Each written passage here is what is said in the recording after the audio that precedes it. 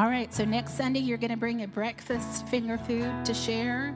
You're, we're going to start at 10:30. Be here by 10:30. Two gifts for our stockings.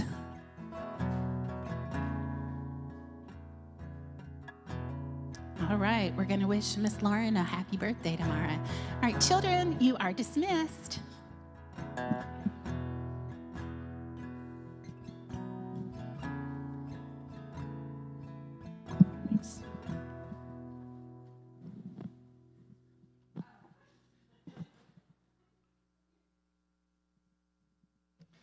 Praise the Lord.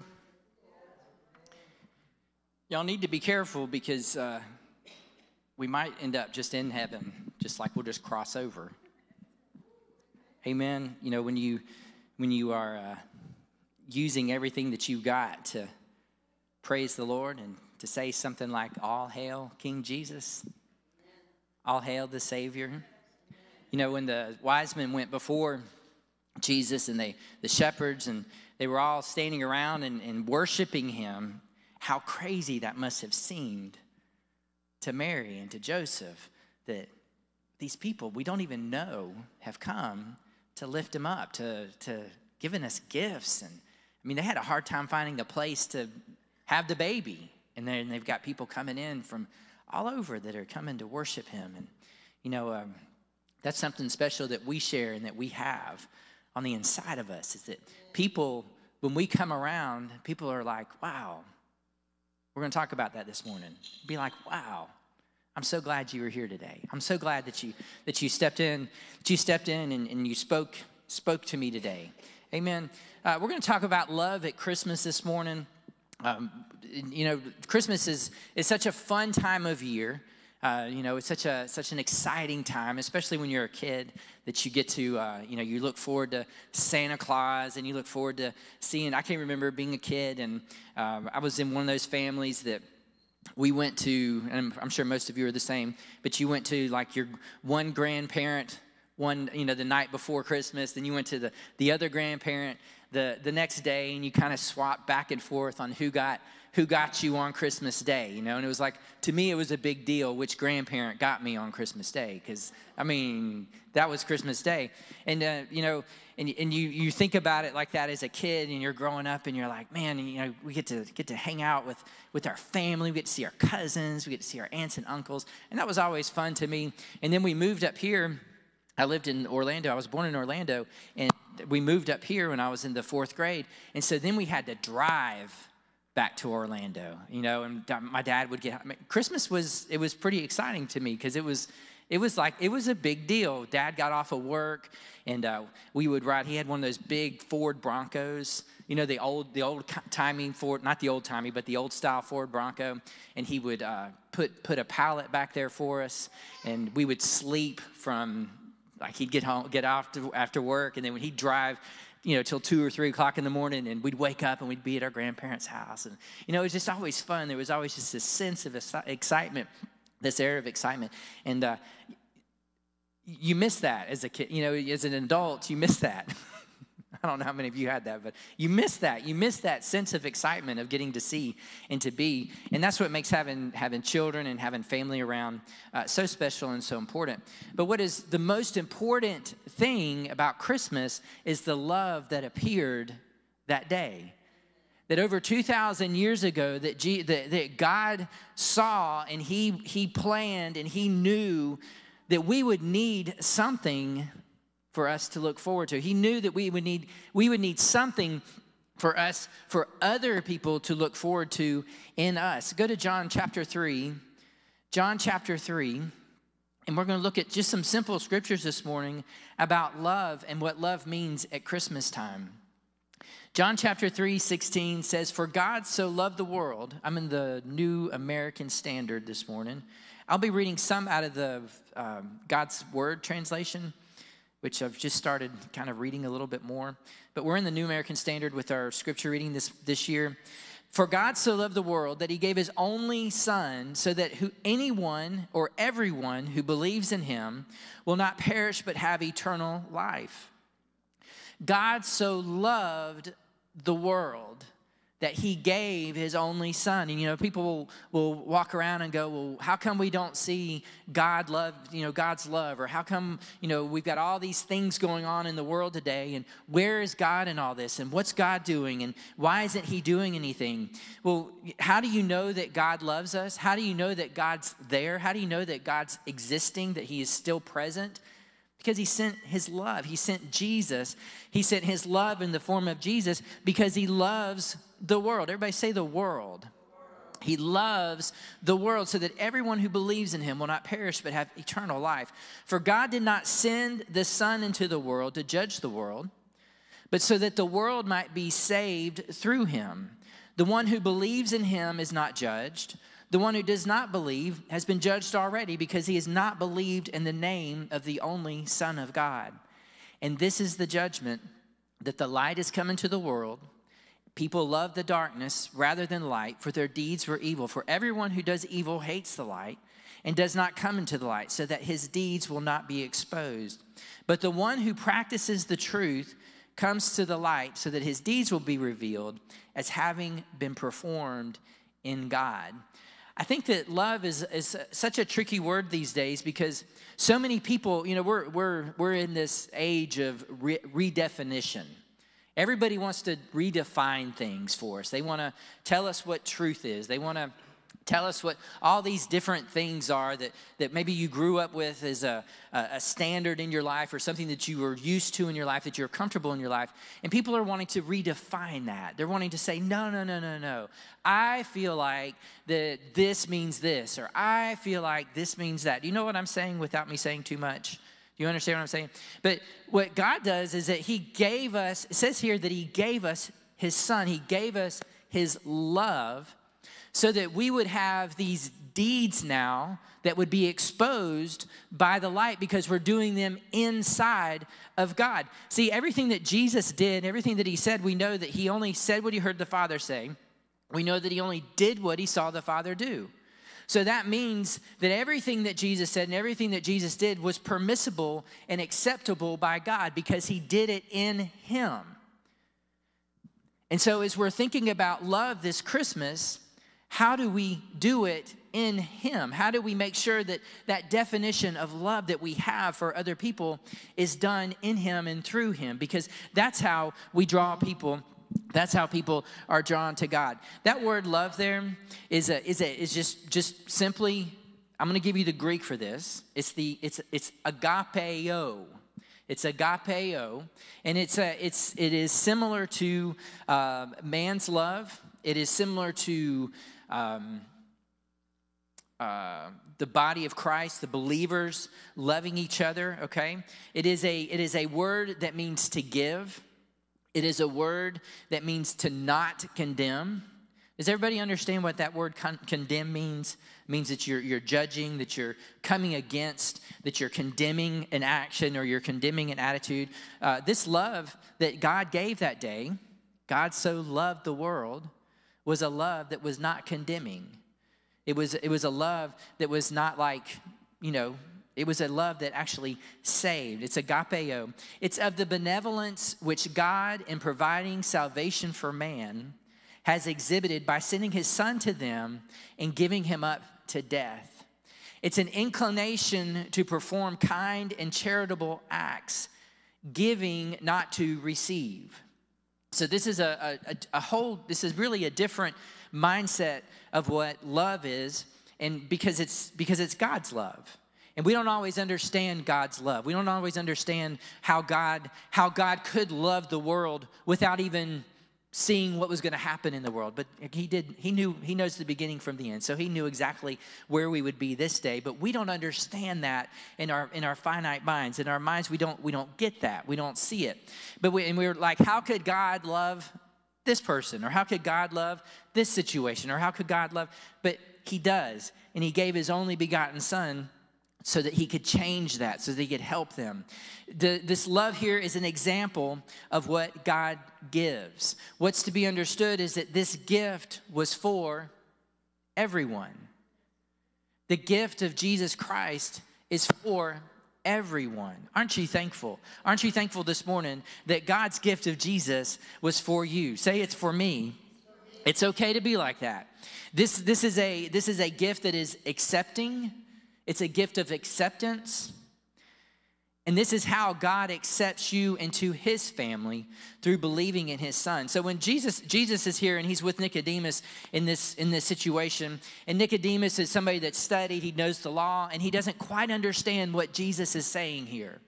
And Jesus is pointing him just to the, to, to the Word of God. He's pointing him to the, the life of God, and he's pointing him to an understanding of God that God loved the world. And he loved it so much that he gave his only begotten son. So that's what love is. That's what the kind of love is that God gives us. It's an accepting love, it's a love that brings people into the family of God all right because you because you accept jesus now all of a sudden you're in the family of god because you accept the work of christ you're in the family of god so that that love that god gave you brought you into his kingdom and his, into his place see and one thing that we have to remember as christians let's go to john chapter 1 john chapter 1 this is a, a i love this verse this scripture john chapter 1 verse 1 says in the beginning was the word the Word was with God, and the Word was God. He was in the beginning with God. In the beginning was the Word, and the Word was with God, and the Word was God. He, the Word, was in the beginning with God. All things came into being through him, and apart from him, not even one thing came into being that has come into being. In him was life, and the life was the light of mankind. And the light shines in the darkness, and the darkness cannot grasp it. What we have to understand is that people don't understand the love of God from the start, they don't understand the love of God from the beginning. What is this? Let me see that. Does anybody know? Where's Miss Judy? What in the world? I'm to to miss, ask Miss Ann. Oh, Miss Ann, come on. I thought you were on my side. No, it goes this way. It goes this way. See, this is a good example of having to walk in love. Right? Don't take my picture holding this. Uh uh-uh. uh. That's, that'd be terrible. I'm gonna be praying over Miss Ann a little bit. Miss Ann gave me this candle this year when Carolina was having a hard time. They were having a difficult time in their season. And, you know, they lost a couple of games. And, you know, Miss Ann, from, she just was thinking about me. She's, she was being led by God. God was giving her actions and things that she needed to do to act in love towards me. And she gave me this little candle thing that burnt, you know, you turn, you flick the light on, and it helps get rid of all the, the bad vibes of what Carolina was doing because what they were doing just stunk, right? And so I, I, I turn this thing on, and lo and behold, they win. They beat, they beat Texas A&M. They haven't beaten Texas A&M ever and they beat Texas A&M. Well, the next week I forgot to turn it on so quick, and they lost to Florida. Okay, but then the week after that I turned it on and they beat Vanderbilt. And then guess what? They beat Tennessee. And then guess what? They beat Clemson. How can you do this to me? You're gonna mess it all up. I'm just kidding. She said, It's not for me. We're talking about love here. She loved me. Yes, she does. I'm sorry. That just, I saw that and I was like, that is obnoxious. Oh my goodness. We were out shopping yesterday. we were out shopping yesterday in the, the, I couldn't believe all the orange I saw. And I don't, I mean, it's, they did. They won, they won the ACC. I'm, so, I, if you're any of you are Clemson fans and I'm, and I'm, I don't know, and it's okay. I, I, it's all right that you're a Clemson fan because it's okay that I'm a Carolina fan. And so uh, you, you see all this orange everywhere, and I'm like, man, that is a lot of orange. There's a lot of orange going on. Oh, we're talking about the love of God. As believers, go to Romans chapter 5. How important it is that during the Christmas season that we're walking in love that we're walking in the love that God gave to us on that day that Jesus was born, that God gave us his love. And it's a different kind of love than what the world sees. It's a different kind of love than what, how the world defines it. The world is constantly changing how it defines what love is. Do you know that? Do you understand that? That it's not, it's not the same that it was 20 years ago. It's not the same that it was 40 years ago. The definition of love is different. But God's love, the definition that God placed in His Word and His truth, has never changed. Because He's always in a place where he is ready to receive us. He's always in a place where he is ready to, to bring us to him and to bring us into the kingdom of God. But he set a parameter into motion. And this is important for believers because you believe in Jesus, you now have access to the Father. You have now have unlimited access to the Father because of the love that was given to you. And what we have to be reminded of, especially in the Christmas season, I think Jonah was telling me that there was some some lady sent an email to all of her family and they, she was like we can't discuss this we can't discuss this we can't discuss and like gave this whole list of things that they couldn't discuss during the holiday season. How many of you feel like that sometimes? I mean seriously nobody wants to talk football with me. You know because clemson lost to carolina right but how many, how often do we feel like that because of the, we, we don't like the conflict, we don't like, we don't know how to respond, we don't know how to react, we don't know how to, to move forward with these relationships that mean so much to us. Our family means a lot to us, amen? Family means a lot to us. Well, you can do it. And I'm here to I'm here to help you. I'm here to tell you that that we can do it because the love of God, listen, Romans chapter 5 verse 5 says that hope does not disappoint. Hope does not disappoint. God gives us hope.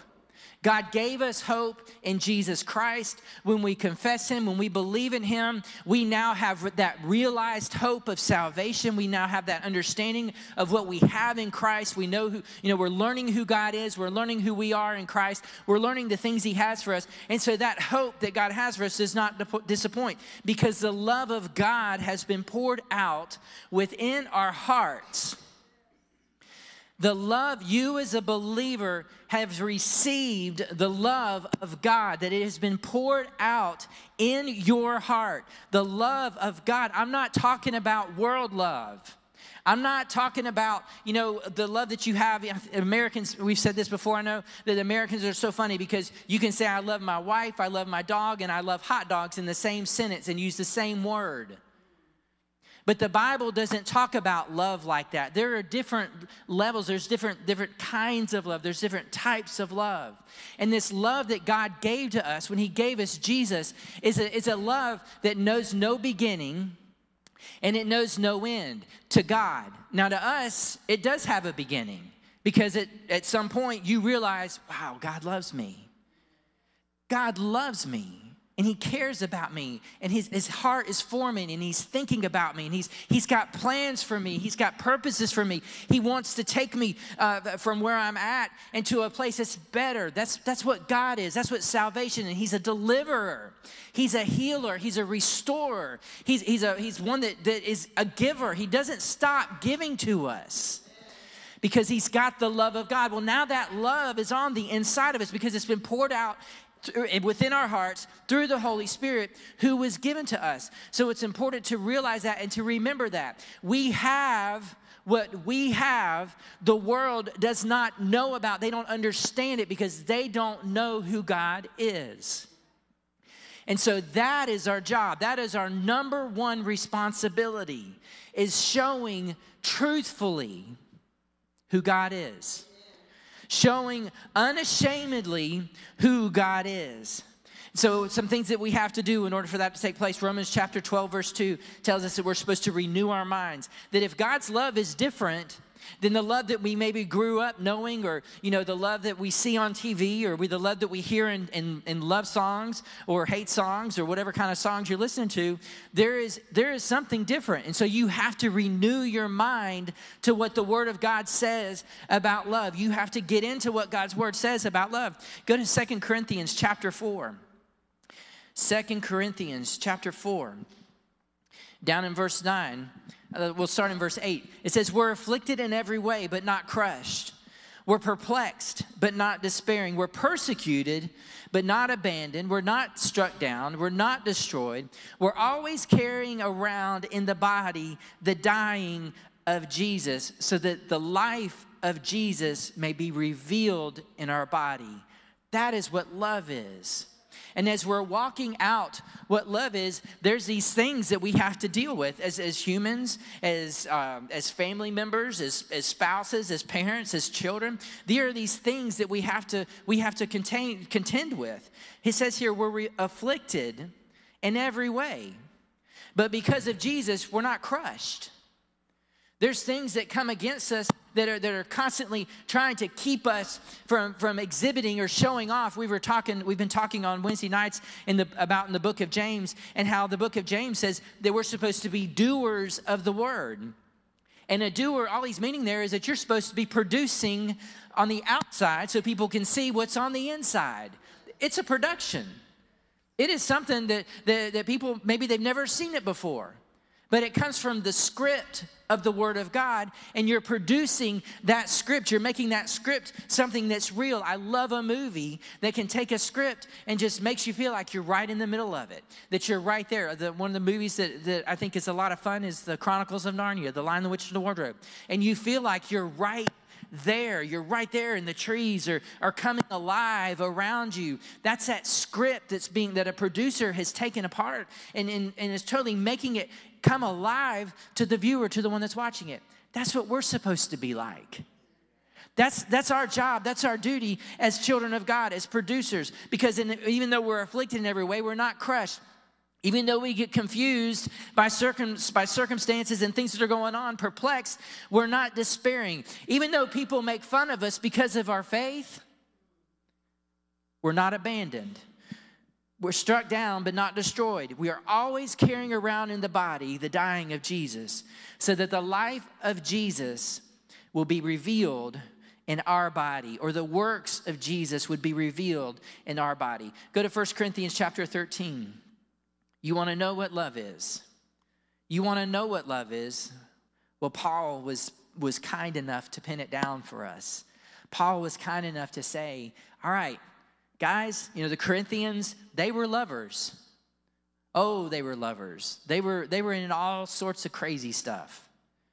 They loved each other. They didn't. They loved their, you know, they loved things about their um, their mother-in-law or their, you know, they they were crazy lovers. And so Paul had to set him straight according to what the word says. Paul had to set him straight according to what God's love. And again, this love here is called agape. This love here is called agape. He says in verse 13, verse 1 if I speak with the tongues of mankind and of angels, but do not have love, I become a noisy gong or a clanging cymbal. If I have the gift of prophecy and know all mysteries and all knowledge, and if I have all faith so that I can remove mountains, but do not have love or agape, I am nothing. If I give away all my possessions to charities, or if I surrender my body so that I may be my glory, if I surrender my body so that I may glory, but do not have love, it does me no good. Then he goes in and he says that love is patient, love is kind, it's not jealous, it does not brag, it's not arrogant, it does not act disgracefully, it does not seek its own benefit. It's not provoked. It does not keep an account of a wrong suffered.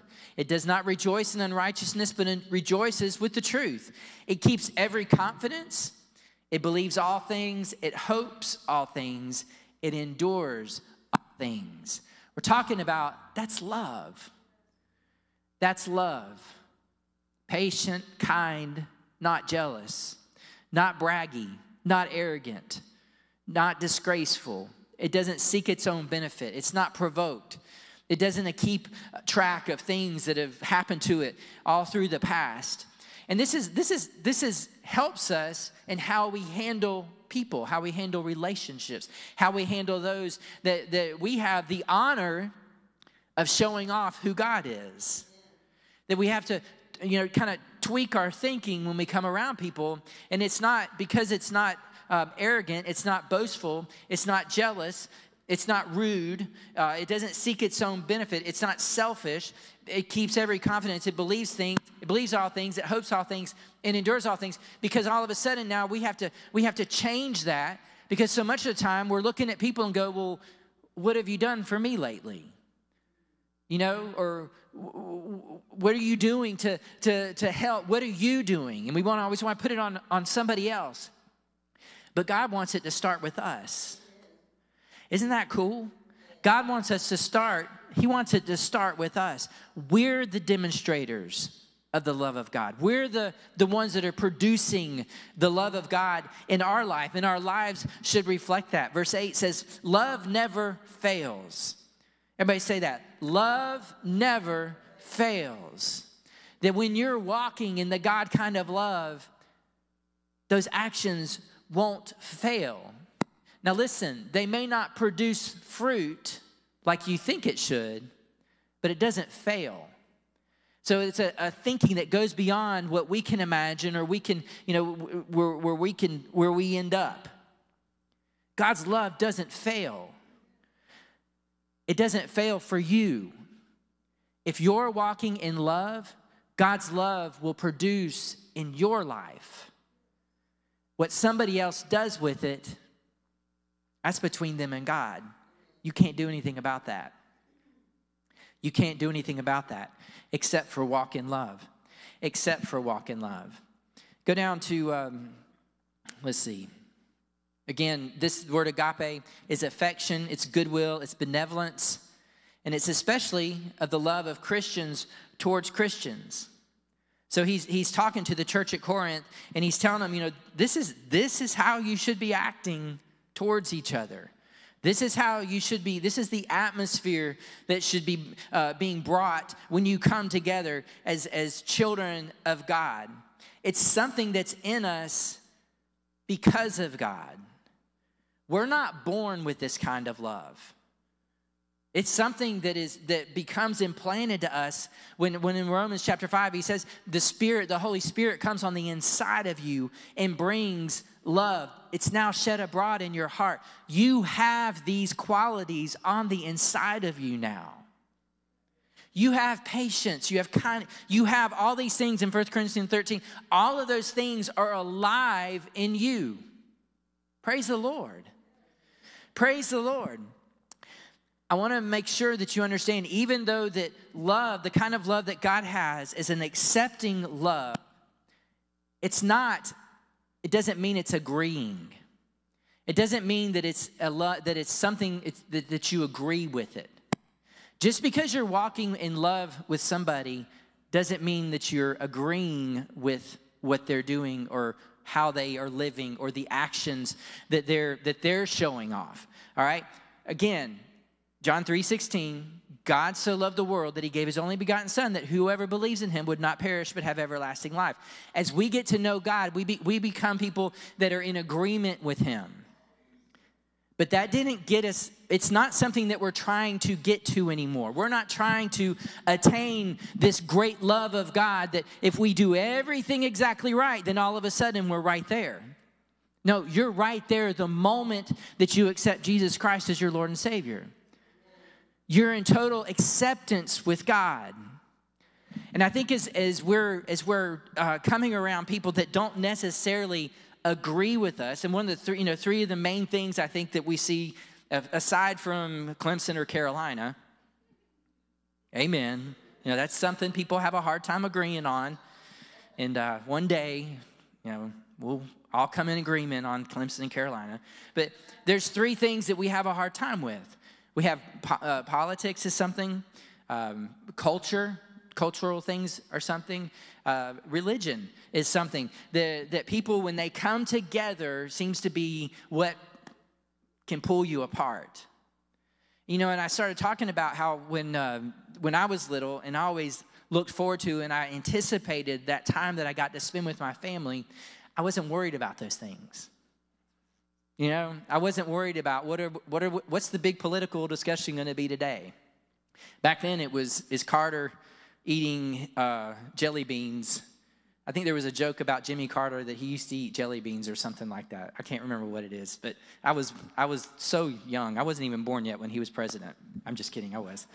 But then, but then you know, and then we had so we had Jimmy Carter, and then we had uh, Ronald Reagan, and uh, you know, and then we've gone on from there. But I wasn't worried about that. That's my point. I wasn't worried about who, who we were going to discuss, you know, who the, who the governor was or, or those kind of things. I wasn't worried about, um, I wasn't worried about a religious discussion. I wasn't worried about a cultural discussion. I wasn't worried about, well, what are we going to hash out today? How are we going to figure out? You know, and, and, sometimes when you get around family and you get around people, you're, you're like, you're concerned. Oh, oh, what are we going to talk about today? But Jesus shows us how to handle acceptance, not agreement, because unless it's with the Word of God, and Jesus was this way. I mean, Jesus told people, look, if you, if you can't handle this, I'm sorry. If you don't agree with what I'm saying, if you don't agree with what the King of Kings and the Lord of Lords says, I'm sorry, but I'm here for you. And that's part of what acceptance is. That's what Jesus is wanting us to do and wanting us to accomplish here. You know, First John chapter 2, it, uh, the, he goes through and he, and he talks about he talks about love. John is such a has such a beautiful way of, of describing what love is and he saw love he walked he walked with love he walked with jesus christ in First john chapter 2 down in verse 12 he says i'm writing to you little children Make sure I'm starting in the right place. 1 John chapter 2 verse 12. I'm writing to you little children because your sins have been forgiven you on account of his name. You've been accepted into the kingdom of God. He's writing to the church here. So he's writing to us. And he's saying, Your sins have been forgiven on the count of his name, the name of Jesus. I'm writing to you, fathers, because you know him who has been from the beginning. I'm writing to you, young men, because you have overcome the evil one. How do you do that? You did it through Jesus Christ. I've written to you, children, because you know the Father. I've written to you, fathers, because you know him who has been from the beginning.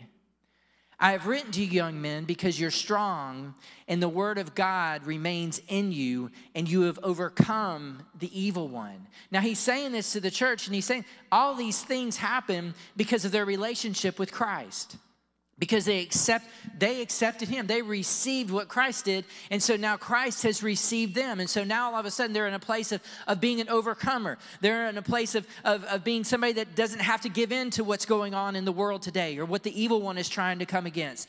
Then he goes on here because he says we need some more help. We need some more definition of what love is. He says in verse 18 do not love the world nor the things in the world if anyone loves the world, the love of the Father is not in him. He's talking, he's not talking about the people of the world, because he said, For God so loved the world, the people. God so loved everybody that was going to be created. I tend to think this even means that he loved the world. That we could even go in. I mean, we, we know that the, the word world there is this, this, this age or you know, this time period. He loved the world so much. But I believe that he loved his creation so much that Jesus, the power of Christ, was so good for creation. But then he says, whoever believes in him, so that's people, and it's not limited to a race, it's not limited to a culture, it's not limited to a people group, it's not limited to a time period. He's saying you would you would be saved and have everlasting life. So when he's talking, when John's talking here and he says, Don't love the world or the things in the world, he's saying, Don't get caught up in what the world is producing. Don't get caught up in the, in the thoughts and the ideas that the world is generating and saying, well, this is acceptable today. And then tomorrow it says, no, that's not acceptable, but this is acceptable now. And then the next day it says, well, that's not acceptable, this is acceptable. It's uh, like a moving target. Every single day you have to get on Twitter and go, well, what am I allowed to say? If you're trying to love like the world loves. But I believe that when we're walking in God's love, you'll always have the right thing to say. You'll always be able to, to, to, to be the person that's exhibiting the love of God so that people have an opportunity to receive that. Jesus did that, and he did that so exceptionally. He did it in, in a way that we need to study it and we need to understand it. Go to uh, John chapter 4. John chapter 4.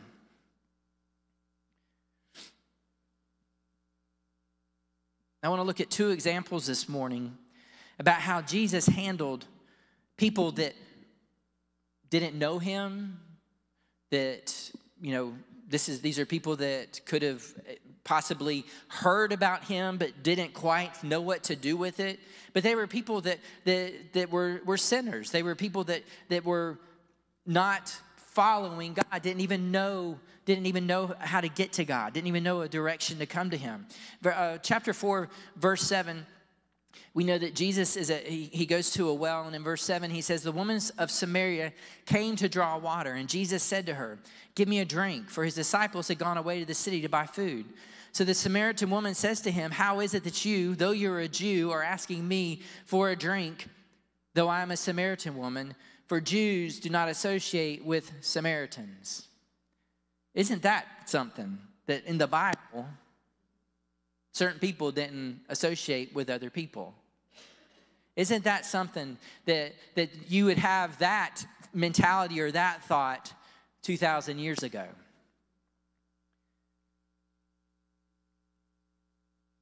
But Jesus didn't think like that. Jesus didn't care about that.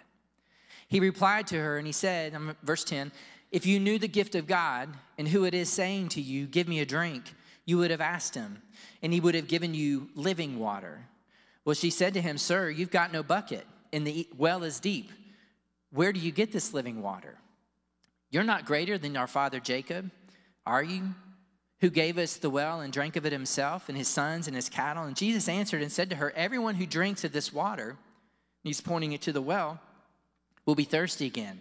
But, ever, but whoever drinks of the water that I will give him shall never be thirsty. But the water that I will give him will become in him a fountain of water springing up to eternal life. So Jesus is, is talking to her, and, and some things that we can notice about this that it didn't bother him that she wasn't a Jew. It didn't bother him that she was a lady. It didn't bother him that she didn't have a, a, a husband with her. It was not appropriate for, for people to talk to women if you were a male, that you would talk to, you would direct your, this is crazy. You know, we think we're struggling with, with things nowadays. I mean, they were like, you can't talk, talk to somebody if the husband's not present. But Jesus wasn't concerned about that. He wasn't concerned about what culture said. He wasn't concerned about what the direction of, of those that were around him would think. He was concerned about giving her a chance to make a decision for eternal life. She appreciates him. She appreciates his kindness because Jews and Samaritans they weren't friends. Samaritans thought that if you weren't a Samaritan that you you were just as good as dead, that you were just as good as gone. And so they they looked at at Jewish people the same way that Jewish people considered Samaritans. But Jesus had something to say that transcended culture, religion, and politics. And so as, as, you, as you're coming around those that you know you're not going to agree with, make sure you've got something to say that transcends, that goes, I mean, I mean, goes above political affiliation, goes above cultural affiliation, goes above uh, religious affiliation, because that's how Jesus handled talking to people that did not live like him, or look like him, or act like him, or talk like him. He made her curious about the things of God. He made her curious about who Jesus is. He made her curious about what he could give her. That's a, a, a, just a different way of thinking. Well, how do I, how do I direct my, their attention towards God? This is going to take some thought on your part. This is going to take some, some prayer on your thought. You're going to have to do some, some renewing of your mind so that you're able to, when I get into a situation like this, First of all, I don't get impatient. I don't get rude. I don't get, uh, you know, uh, puffed up. I don't get the things of, of 1 Corinthians 13, that what it says that I am, but I'm able to respond and help make them curious about the life changing power that's on the inside of me. That's what's important this Christmas season. That's what's important every season. Amen. Jesus spoke to her. I like this, and I think this is something that we can all uh, work on. Jesus spoke to her as if she was more spiritual and understanding than she actually was, meaning that he didn't talk down to her. He didn't belittle her. He didn't. He wasn't like, "Well, if you only knew who I was." I mean, he didn't even say who he didn't even say who he was. He was talking about what he could give her. What can you give somebody today? What can you give somebody tomorrow? He did reveal himself to her, and our job is to reveal ourselves through the kind of love that God gives. So that takes, it's going to take some, God, how do I, how do I do this? How do I think differently about these situations that I may be going into? Because there are some people that are going to come around here and they're, they're going to be ready. They're going to be ready to bash everything that you believe, everything that you say. They're going to be like, well, Clemson's done this, and Clemson's done that, and Clemson's done this. You know, they're going to be like that. And you have to be, uh, all right, all right, all right. Let's point them a different direction. Let's go a different way here. Let's go a different way. Because you could, that's just what you have to do. John chapter 8, another example here. John chapter 8. Praise the Lord. I love my Clemson people because they're my friends. Amen. They're my friends, and we can have fun, right? John chapter 8, verse 2. It says, In the early morning, he came into the temple area, and all the people were coming to him, and he sat down and began to teach him.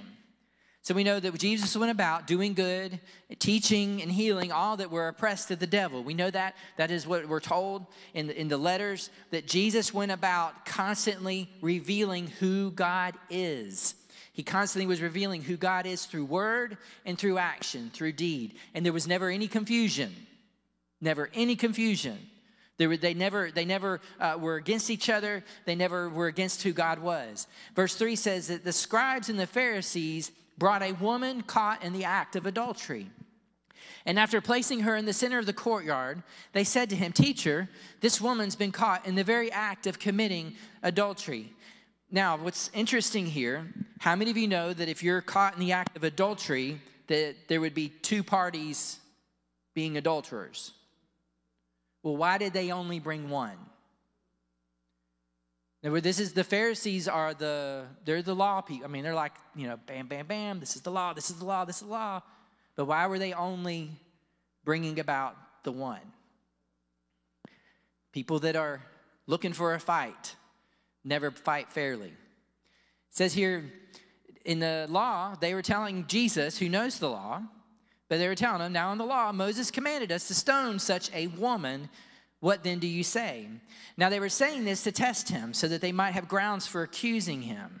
So it's a trap. They're trying to set a, you know, they're setting up something to see, well, is he going to say, well, it's okay, you know, that she's doing this, or, or is she going to, is, is she going to is he going to make an example of her? You know, they're trying to see, well, what, which way is Jesus going to go here?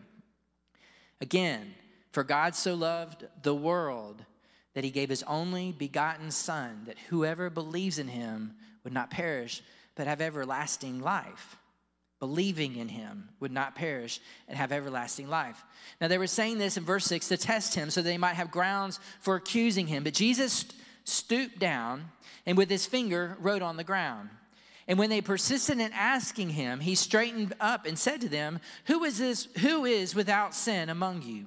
Let him be the first to throw a stone at her. And then again, he stoops down. And he wrote on the ground. And now, when they heard this, they began leaving one by one, beginning with the older ones. And he was left alone with the woman where she was, in the center of the courtyard. And straightening up, Jesus said to her, Woman, where are they? Did no one condemn you? And she said, No one, Lord. And Jesus said, I do not condemn you either. Go from now on, do not sin any longer. See, Jesus, we see here, go if you keep going in verse 12, he talks, he says here, let's, let's read it. Then Jesus spoke to them again, saying, because it's in the same same time period, they're in the same place, they've not moved on. And he's talking to the people, those that are around that he was teaching, and he says, I'm the light of the world. The one who follows me will not walk in dark will not walk in darkness, but will have the light of life. And so the Pharisees, they go on and they're, they're trying to mess with him again. But he's he's just he's constant in how and who he's delivering his message to. It didn't change. It didn't vary from, from person to person, didn't vary from situation to situation. See, even though that they, the Pharisees, were trying to trap him, the Pharisees weren't wrong. Okay? They weren't wrong in the Old Testament. If you're caught in the act of adultery, you're supposed to be stoned. That is the Old Testament. That's the Old Covenant. But we know that we know now that Jesus came to bring life and to bring it more abundantly, that whoever believes on him would not, would not perish, but have everlasting life. Notice here that Jesus does not react with anger. Jesus didn't get mad at the Pharisees. She's in sin. They're not wrong in how she's, they're, they're right in what she's saying. But Jesus, who came to give life, doesn't react with anger. In fact, he acts with humility by stooping down. He put himself in a position of being low and being humble. He wasn't somebody that was like, Well, you don't know who I am. He was pointing them to a better way, to a better reaction, to a better life. When dealing with those um, let's see, when dealing with those who are openly living in sin, we must recognize the value of being forgiven and that it's for everyone. That if you don't agree with how somebody lives, we, we were having a good discussion Wednesday night, and um, you know, there is a, there's, as a, as a parent, you want the best for your children, right? You want, you want to help them in every single way that you can. You want, you want to even make decisions for them sometimes because you've been there and you know and you know where, what, what direction a, a decision is going to take them and, and go. But you have to trust. I heard a gentleman say that you have to trust, first of all, what you've done as a parent in their life, and then you have to trust how the Word of God is working in their life. And that God has a greater ability to get them to where they need to be, where they're supposed to be, than you ever could. That's who that's how Jesus was. Jesus wasn't going around and enforcing the rules of the law. Jesus was going around and saying, "The truth will make you free from the bondage that the law gives you." It's not about how well can I line up with what the law says, but it's how well can I line up with what the word says, what Jesus is saying to bring life and to bring it more abundantly. Jesus, in, in dealing with this person, and we all know people, we all understand that there's people that go through times in their life where they make a decision and it doesn't line up with the word. It doesn't line up with what God's saying is best for them. They even know, they know God and they've experienced his goodness, but yet they got they get caught up in decisions that they've made and they start going down this path that's leading them away. Well, how do you get around them? How do you how do you show them the love of God? How do you show them you show them what forgiveness looks like? That's what Jesus was doing with the with the lady here. She was she was caught in sin. There's no denying it. But Jesus didn't say it's okay, just don't get caught again. He said, Go and sin no more. Because that's what we need the forgiveness from. That's what the forgiveness is there for. That's what Jesus came to bring us, to bring us forgiveness, to bring us back into a relationship with God. Jesus worked, he worked to bring down a tent situation. This wasn't, uh, you know, just people walking by and they're like, hey, yo, Jesus, uh, this lady right here. No, they were mad. They were causing a stir. They were ready. How many of you ever been stung by a, a, a nest of, of yellow jackets? That's a lot like how this was.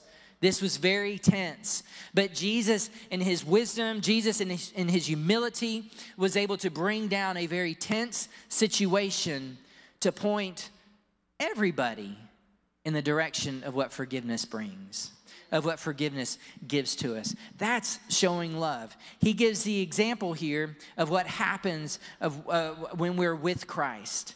That because she she had the opportunity to choose and go Jesus' direction by not sinning anymore, all of a sudden she didn't wasn't to be condemned anymore. She wasn't living in a, in a, place of condemnation. Romans 8 1 tells us there's therefore now no condemnation for those who are in Christ Jesus. Jesus gave her hope. He didn't agree with her behavior, but he accepted her and told her what to do with it. He accepted her to help her and to, and to, and to help her go a different direction. Again, Jesus does not come to condemn, but he comes to save, as in as John chapter 3, 17 and 18. How important it is to remember that we have the ability and the job to introduce people to the Savior. How important it is to remember that this Christmas season, our job is not to fix people and correct people and try and get people to think and act like we do. Okay, you all should be going, oh, good. Whoo, because I was getting concerned. No, our job is to point people in the direction of Christ and give them a reason to want to get to know Him. Because if you're not doing that, you're failing. You're failing them and you're failing yourself. But we don't have to fail. We don't have to fail. We don't have to be ones that are that are nobody wants to be around me at Christmas. Everybody wants to be around me at Christmas. Jesus, everybody wanted to be around Jesus. But that means that Jesus was being successful in how he was living and how he was delivering a promise the promise of forgiveness and the promise of hope. Amen. Y'all stand with me? Let's just pray for a moment. Father, we worship you, we praise you. We honor you. We exalt you. We magnify you. Father God, we make you so big in our lives. Father God, we make you so big in our lives that, Father, no matter what situation we're presented with, Lord, we know that because you're with us and because we're with you, because we're in you, that, Father God, there is nothing we can't handle. There's nothing that we can't, can't, can't go through, Father God, without, without knowing that we're going to come out on the other side. We're going to come out on the other side. And we're not going to have lost our, our love. We're not going to have lost our, our, our, our hope we're not going to have lost our, our life that we get to enjoy because of you.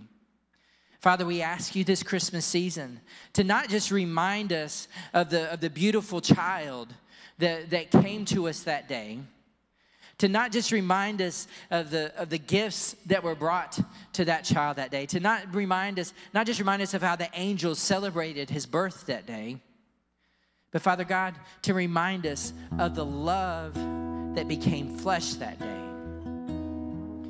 And that He's the perfect example of how we're to live and how we're to be.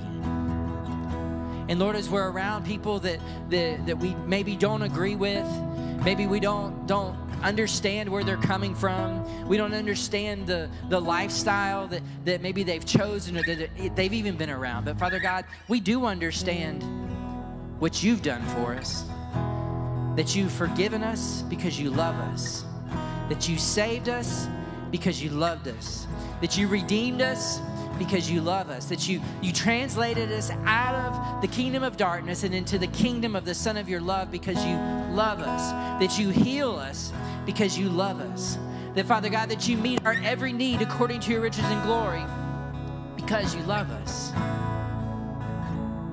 Father, you tell us that, that it's not because we first loved you, but because you loved us. And so we're to take that love, that love that knows no bounds, that love that knows no beginning and ending. It's not weighted on circumstances. It's not weighted on where we're from or who our parents are or what kind of job we have. It's not weighted on what our kids are like or what our parents are like. It's not weighted on what kind of car I drive. That love that's on the inside of us is for everyone. It's for everyone. And so, Father, as we're going about this Christmas season, that Lord, that we're exercising. We're exercising 1 Corinthians 13. Oh, we're, we're walking in it, Lord. We're walking in it, Lord. We're walking in it, Lord that you've empowered us by the Holy Spirit to walk in it each and every moment of each and every day. I thank you, Father God, for. Lord, our, our desire, and I believe I'm speaking this for everyone, that our desire is not for me to be right, but for the truth, the truth of God to be revealed. That's what we want revealed this Christmas season love came down.